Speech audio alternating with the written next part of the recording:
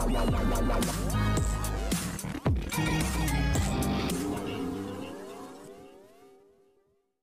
देख रहे हैं सीरियल से आप आज चैनल को सब्सक्राइब कीजिए और फेसबुक पर भी आप हमें फॉलो कर सकते हैं।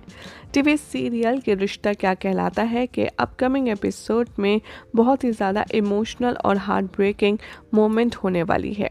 शो की कहानी में दिखाया जाएगा कि चारू की सगाई के बाद अरमान और अभीरा अपनी तकलीफ़ को शेयर करते हुए नज़र आएँगे। जहाँ अभीरा अपने बच्चे को इस दुनिया में लाना चाहती है तो अरमान अभीरा की ज़िंदगी को बिल्कुल भी खतरे में डालने के मूड में नहीं है और वो अभीरा को बिल्कुल भी किसी भी जोखिम में नहीं डालना चाहता, जिसके लिए वो अभीरा को साफ़ तौर पर कह देगा कि मुझे ये बच्चा नहीं चाहिए, क्योंकि मुझे तुम चाहिए।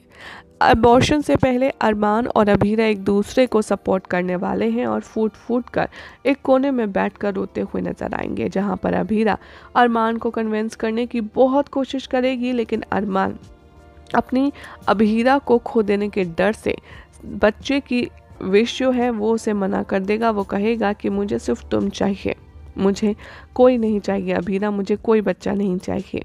अब देखना होगा काफ़ी ज़्यादा इंटरेस्टिंग कि जिस तरीके से यहाँ पर अरमान और अभीरा की ज़िंदगी में मुश्किल परेशानियों का दौर है, जो कि ख़त्म होने का नाम ही नहीं ले रहा है।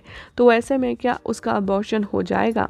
और क्या वाकई में जो अभीरा है, वो माँ बनते बनते रह जाएगी?